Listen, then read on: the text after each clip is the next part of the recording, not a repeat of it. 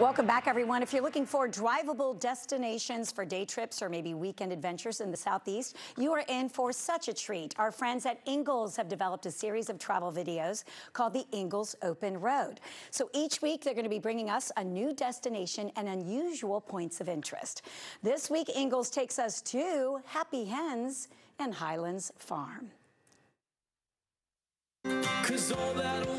I'm Chris Bainbridge, inviting you to take a ride with me.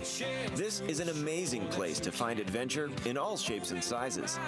Ingles has sent me on a mission to bring you the very best of what our beautiful home has to offer. Food, fun, nature, music, and more. All affordable and all out of the ordinary. This is the Ingles Open Road.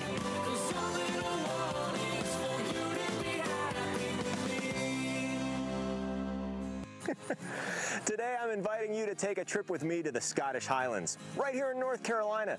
This is Happy Hens and Highlands Farm, the dream of owners Adam and Emily, whose faith drives them to be stewards of the earth and to love, respect, and care for the land and the cutest cows you've ever seen in your life. These are Scottish Highlands cattle, one of the oldest breeds of registered cattle in the world. Oh, yes. This Is the cutest little thing you've ever seen in your life?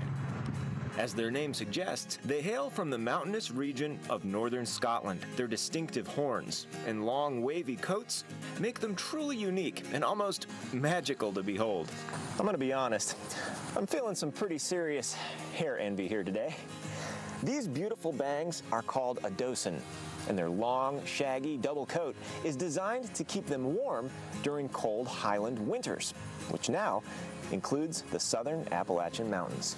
Right. Adam and Emily initially started their herd to raise grass fed Highland beef, which is actually lower in cholesterol than other forms of beef. But they quickly fell in love and got too attached for that.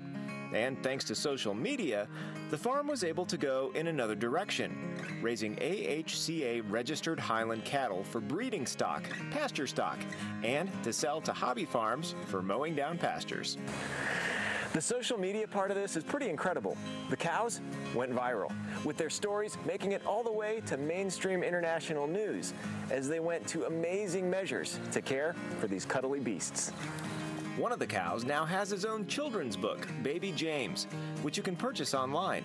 And speaking of which, online purchases are a big driver for keeping the farm profitable so that they can continue their mission of raising and rescuing these amazing creatures.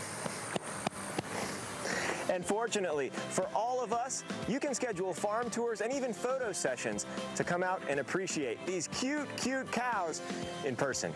Book your time today at happyhensandhighlands.com and come up into the mountains for a truly unique and memorable experience. Your weekend is waiting on the Ingles Open Road.